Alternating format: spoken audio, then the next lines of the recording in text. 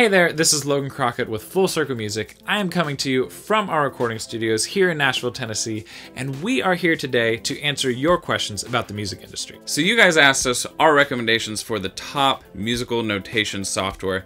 Maybe you need to get some sheet music written out for uh, some sort of original song or arrangement. Well, I've got three recommendations for you. So the first software I'm going to give you is a very, very popular choice, and that is called Sibelius. Sibelius is made by a company called Avid, which is the same company that makes Pro Tools.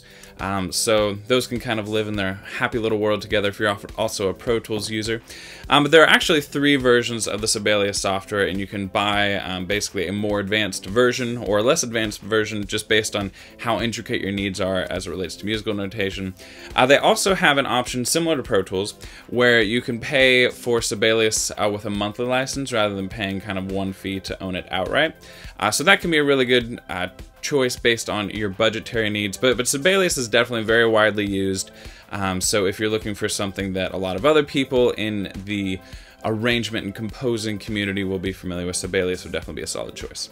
The next one I'm going to give you, number two, is called Finale. This is also an extremely common software. They've been around ever so slightly longer than Sibelius by just a few years. Um, I believe Finale started in the late 80s and uh, Sibelius started in the early 90s. Uh, so a little bit of a longer, a little bit of a longer history. Um, and it is, to my knowledge, they don't have like a, a monthly a way to purchase it on a monthly ongoing basis like Sibelius. And as a whole, to, to purchase Finale outright, it can be a little bit more expensive on, on the front end to do that. Um, I, I, definitely know some people who have some mixed feelings on Finale, both um, Sibelius and Finale, and the third option I'm going to give you in just a second.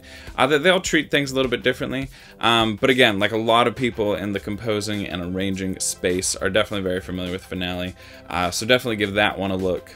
And then the third option that I'm going to give you is one called Noteflight. And for me, I, at this stage of my life as a songwriter, I mean, I'm not deep in the um, arranging and composing space. I have some friends who are, and so they definitely use either Sibelius or Finale. For me, I often need simpler things, um, and so I opt for a program called Noteflight. And part of the reason I really, really like Noteflight is because it's, it's free. There are versions of both Finale and of um, Sibelius that you can also get completely for free. Uh, but but the other difference is uh, Sibelius and Finale both operate as kind of standard apps that you would download to your computer.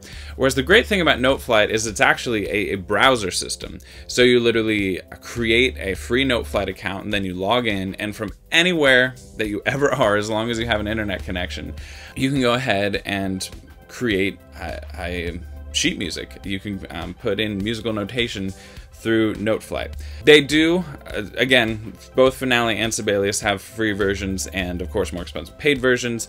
Um, Noteflight does have a more expensive premium version that they do charge monthly for. Um, and so again, if your needs are more robust, you can definitely do something like that. For, but for a lot of my personal needs, with just really simple stuff, um, the free version of Noteflight is great. And I just love it because again, like I don't even have to download anything to my computer, and I can access it um, really on any device or someone else's computer or anything at all like that.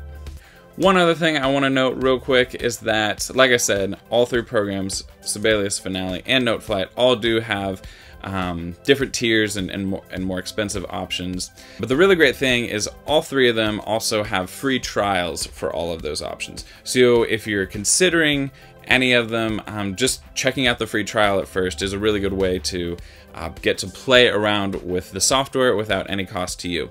And as far as choosing which software to go with, I would ultimately give the same advice. Um, download the free trials and just see which one you like the most. Um, maybe watch some YouTube tutorials and, and see how other people use it. Um, but just see they, they all kind of just operate a little bit differently with how their menus work and how their key commands work and things like that. And, and into a certain software, you might be able to input things a lot faster than another one. So yeah, go ahead, again, free trials, um, use that to try it out or again, like all of these have free versions, completely free versions, often limited, um, but free versions of their software that you can download and, and use to try out too. But really, that's how I make the choice: is to literally get them, get all three, um, play with them, and see what you like the best. We will, of course, have links down in the description below, and we'll have links for um, all of the paid versions, all of the free versions, and any free trials or other relevant links that we got for you. So make sure that you check that out.